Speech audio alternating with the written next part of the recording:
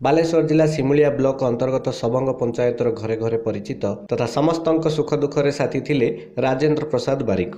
ଗତକାଲି ଦେହ ଅସୁସ୍ଥ ହେବାରୁ ଚିକିତ୍ସା ନିମନ୍ତେ ତାଙ୍କୁ ପ୍ରଥମେ ସିମୁଳିଆ ଗୋଷ୍ଠୀ ସ୍ୱାସ୍ଥ୍ୟ କେନ୍ଦ୍ର ପରେ କଟକ ବଡ଼ ମେଡିକାଲକୁ ଯାଉଥିବା ପାଣିକୋଇଲିଠାରେ ତାଙ୍କର ଦେହାନ୍ତ ହୋଇଯାଇଛି। ଏ ନେଇ ସିମୁଳିଆ ଅଞ୍ଚଳରେ ଶୋକକୂଳ ପରିବେଶ ସୃଷ୍ଟି ହୋଇଛି। ତାଙ୍କର ଏହିପରି ଢଗ ଅଛି ଦେହରେ ମେସିନ୍ ଲାଗିଛି ଯେତେବେଳେ ବନ୍ଦ ହେବ ମୁଁ ସେତେବେଳେ ଚାଲିଯିବି। ଏହି ଢଗଟି ସମସ୍ତଙ୍କୁ ସମୀଭୂତ କରିଛି। ଏନେଇ ଦଳିତ ନିର୍ବିଶେଷରେ ତାଙ୍କର ଅମର ଆତ୍ମାର ସଦ୍ଗତି କାମନା କରି ଶେଷ ଦର୍ଶନ କରିଥିଲେ।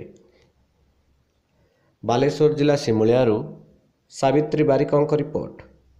ଉତ୍କଳ ଖବର।